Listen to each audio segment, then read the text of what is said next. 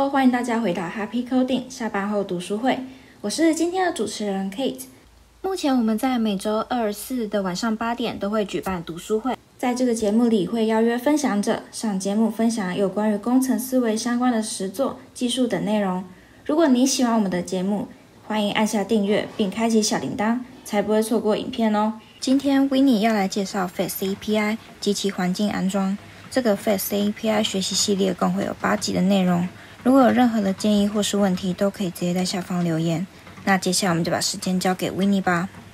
嗨，各位好，等一下要介绍的是 Face API 这个一系列的呃开端。那等一下，首先要讲的是 Face API 的基础介绍。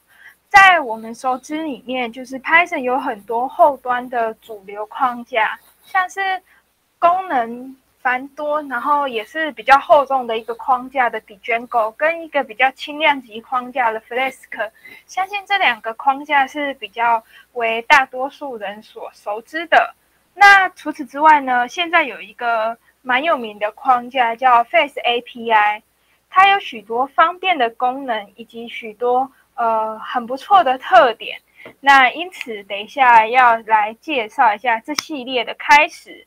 那首先，我们先讲一下 Face API 的特点。它的特点呢，总共有这些。首先是高性能。它高性能指的是，呃，它能与 Node.js 或者是 Go 相当，是相当快的 Python 框架之一。除此之外，它能快速的编写代码，它能将功能开发的速度提高大约二成至三成。那除此之外呢，它有更少的错误。它可以减少开发人员约四十 percent 的人为错误，那它也更直观，它花费的调试时间其实是更少的，并且它具有简易简短的特性。它简易呢，是由于它易于使用跟学习，所以它可以减少阅读文档的时间。那简短是指它能减少一些代码的重复。它其实官方的文档呢写的非常的详尽，而且非常的顺序。你看它官方的文档，不会觉得文绉绉的，或者是很复杂。等一下会开启官方的文档给大家看一下。那除此之外呢，它的稳定键状指的是，呃，它可以获取用于生产环境的代码，然后具有自动式的交互文档。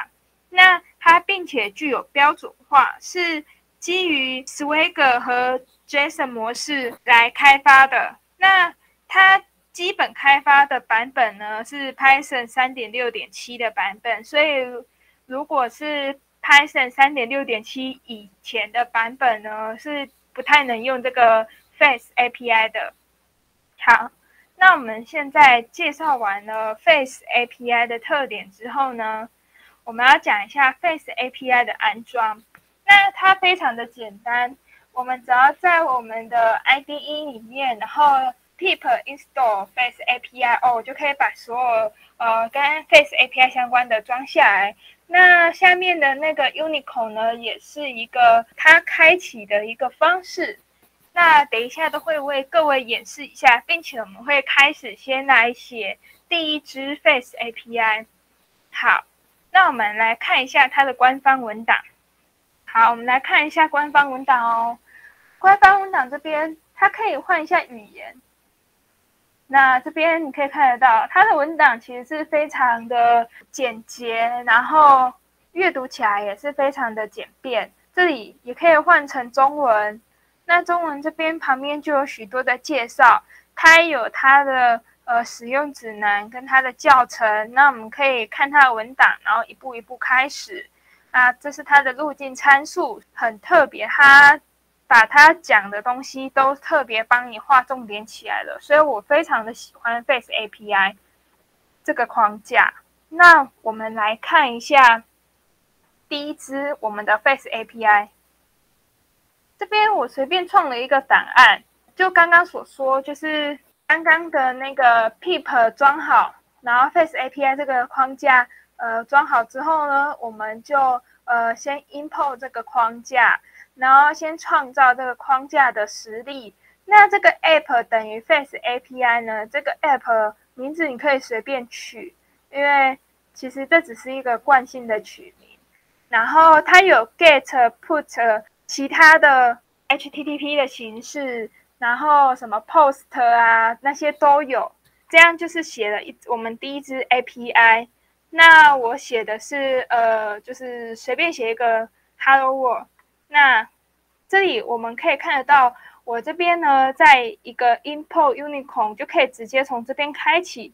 那如果没有这个，没有这三行代码呢，其实的话，我们要到我们终端这边，然后输入这个资讯，那输入这个指令。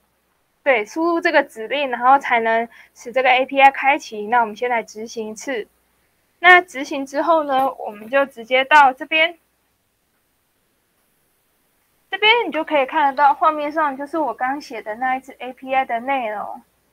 我刚刚写的是那只 API 返回这个 message 等于 Hello World，然后 Face API。那我们来看一下它的交互式文档。那看交互式文档非常的简单，后面打 docs 就好了。我们就进到我们这支 Face API 里面。那这里呢，就可以看得到这支 Face API 的资讯。那这些名称啊，一些更更详尽的一些呃描述啊，什么就可以后续再来添加。那之后的影片里面呢，也会慢慢的来提到，更深入的带大家了解什么是 Face API。好，那这边呢，就是我刚刚写的这是 API 的内容。那也没有什么内容，因为呃，我里面没有写什么东西，所以简单就看一下这个 API 的交互文档。嗯，那这就是我们第一支 Face API 的内容。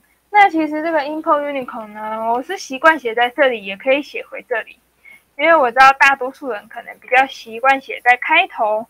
那这样的话呢，就可以直接执行，然后并且到呃我们的 Face API 的交互文档后面打 docs 里面，然后就可以呃给别人使用我们的这个 API。那除此之外呢，Face API 还有许多方便的功能，也会在呃后续的系列视频里面慢慢带领大家一起来呃学习，一起认识这个 Face API。那今天这个 Face API 的介绍就初步介绍就到这边为止。谢谢 Winnie 今天的分享。如果想了解更多有关于 Face API 的内容，欢迎锁定周四的晚上八点下班后读书会。那最后谢谢大家今天的收看，也别忘了在留言处填写回馈表单。我们就下周见喽，拜拜。